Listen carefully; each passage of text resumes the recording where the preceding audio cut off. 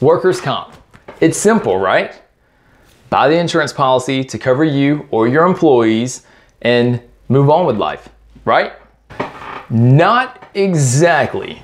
I'm Joseph with Snotherly Insurance.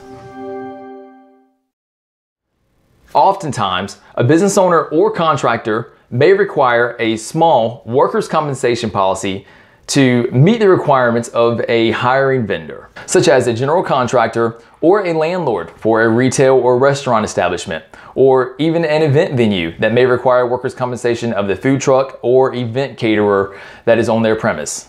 Although these policies can be simple to purchase, providing the accurate amount of payroll and information is vital in the beginning of the policy so that you're not popped with a large audit at the end of the policy term.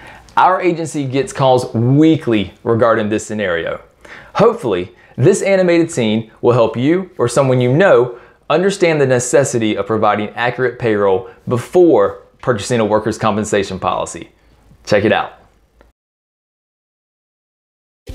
Hello, Snotherly Insurance. Hey, Joe, this is Travis. I need some workers' comp insurance. Can you help? Hey, Travis, of course we can help. How many employees are working for you now? Well, I don't really have employees. I work with three subcontractors, but I don't really think they need to be included. I just need this for a job. Okay, Travis, I hear you. Let me ask you this. I know you said your subcontractors aren't really employees, but do you make sure they have their own insurance? Oh, I have no idea. But I just need a workers' comp policy for me right now. Can't you do that? Oh, yeah, of course we can. But Travis, understand if they don't have their own insurance, you're responsible for their workers' comp as well. Wait, even though they're not on my payroll and they're not my employees?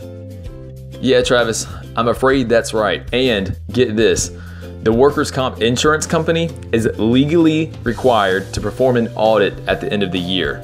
That means if we issue a workers' comp policy for only you, and they learn later that all the subcontractors were not insured with their own insurance, then the insurance company will charge you for covering all of them for the entire year. What's more, you may have to pay that fee in one large sum.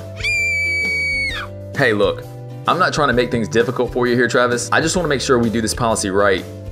So we're not burned with a large fee at audit time.